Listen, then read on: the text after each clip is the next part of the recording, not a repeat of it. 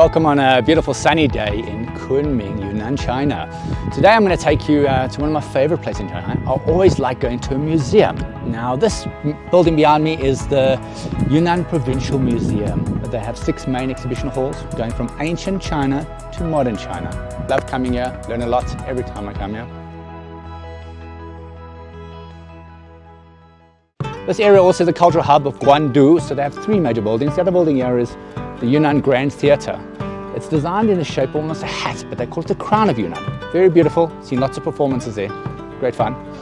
And behind me, what we have is another famous building, that's the Yunnan Museum of Literature and Art. They have 13 permanent exhibition halls, as well as temporary ones.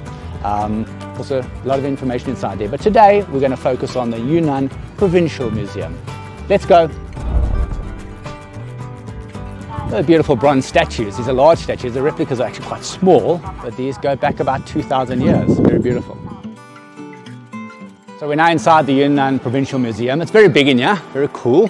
Uh, we're going to go to five exhibition halls, going from ancient Yunnan to modern Yunnan. Wow. So over here, this is a very special piece. It's a replica, but what it is, is it's a bronze carving with the bull at the front, tiger at the back, and it was found in Jiangchuan in Yunnan. It goes back to the warring periods 2,000 years ago in China and was rediscovered in excavation in 1974. The original is about this big, very beautiful. So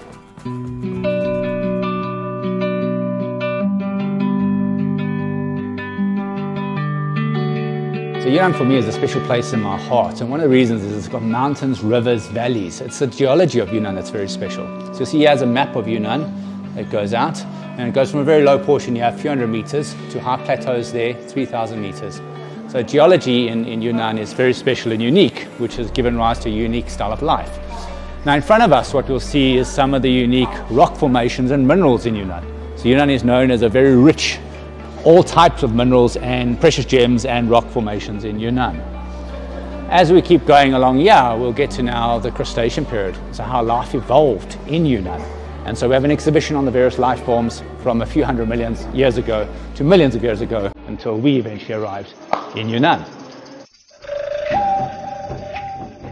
So we're now walking through the, the dinosaur exhibition hall and in front of us is a very famous dinosaur. It's the first dinosaur remains found in China in 1939. It's called the Lufeng, Lufengosaurus, Lufeng dinosaur. So this section of the museum all shows the evolution of mankind and the oldest Homo erectus found in China was actually found in Yunnan called the Yuanmou ring. The next exhibition hall starts to look at the Neolithic period. This is when uh, people started to use utensils for food and cooking and dates back to about 10,000 to 5,000 years ago. And in the museum, yeah, we have a very famous piece, very characteristic piece, a pot from that particular era. And this pot is unique in that it's, it's complete. A lot of pieces, previous other pieces are broken. And it's a chicken uh, shaped pottery pot. So this started to show how people not only used this for food and cooking, but also had art forms built into the pottery that they used, which quite fascinating. Over here, what we have is uh, various large pots also dating, dating back to the Neolithic era, which is about also 6,000, 5,000, 4,000 years ago. So if we keep walking through this exhibition hall, we'll see more and more exhibitions that trace the Neolithic Stone Age, or the New Stone Age.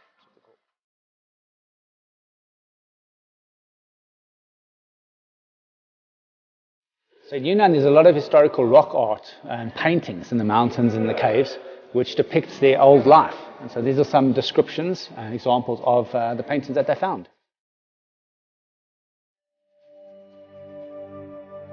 So after the Stone Age exhibition hall we've just been to, uh, we now come to the Bronze Age exhibition hall. Now this era probably starts about 3,000 years ago in Yunnan. Yunnan, the area, has a very famous uh, copper culture with copper artifacts that were created, very special.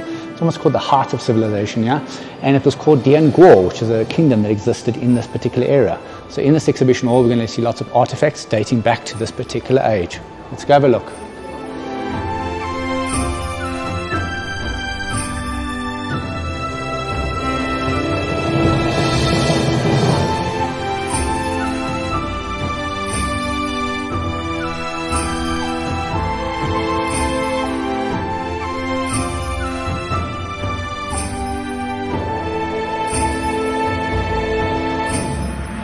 This is a big uh, bronze drum dating back to the Han Dynasty, about 200, 100 BC. And this piece over here is probably one of the most famous pieces, characteristic of this era.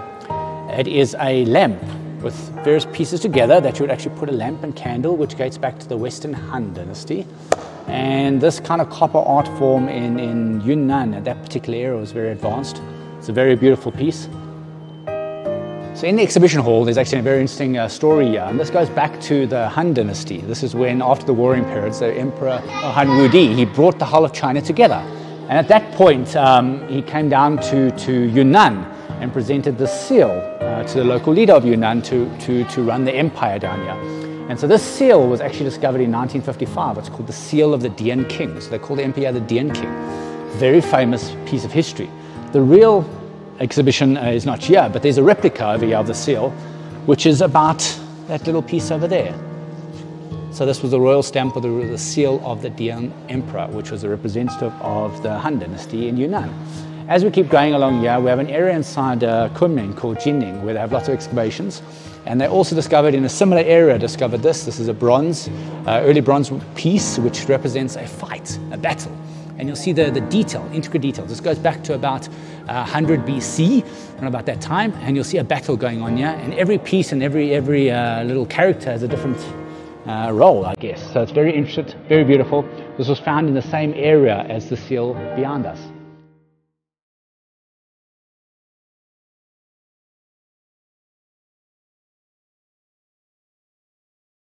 So after that Bronze Age period and the Han Dynasty 2,000 years ago, from probably uh, 2,000 years ago to about 1,300 years ago, um, a lot of people from all around China, Chinese people, migrated to Yunnan. And over time, that Dian Empire that used to be the Bronze Empire, that started to, to collapse and fall. And the area started to become more similar to other parts of China. Obviously, in the mountain areas, you still have a lot of ethnic, um, and call it minority cultures, would have their own culture. But all the big cities started to become more Chinese, I guess, and less, less borderland, if we want to call it that. And so this exhibition hall uh, describes that period of 700 years. So during that 700 year period, as more of the Han, which is the majority in, in culture in, in China, uh, migrated into Yunnan, you have lots of different types of pottery. This year, this piece is very famous. This is actually a tree, a money tree. And so the money in that time was small copper pieces with a little hole in the middle. And so you can actually put all your money on your tree, and a very rich person can have a very big tree, I guess. Very nice. So as we continue along here, we'll see that's, the, that's a seal. That's the seal of, of Yunnan. These are little bronze mirrors, which were used back in the day. And this story, it starts to talk about the integration of people within Yunnan. So obviously, as more of the Han nationality migrated into, into Yunnan, they mixed with all the, the minority cultures and created a unique, call it Yunnan version of, of, the, of the Han culture in Yunnan. Very interesting. And so these are also some of the most famous uh, surnames in, in Yunnan in, uh, over that period. This character is very difficult to, to write. It's actually Cuan, which was a famous family in, uh, that ruled Yunnan for a period of time. Keep going.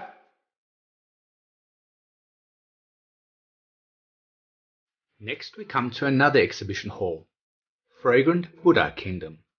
It shows a history of Nanzhao State in Dali, Yunnan Province in the 8th century. This museum presents many related fine collections and murals, including the representative gold Guanyin statue and the beautiful relic Wusi Gongyang Ta, which is made out of gold, silver, bronze, copper, iron, and amber, and was used in sacrificial ceremonies. The craftsmanship is exquisite.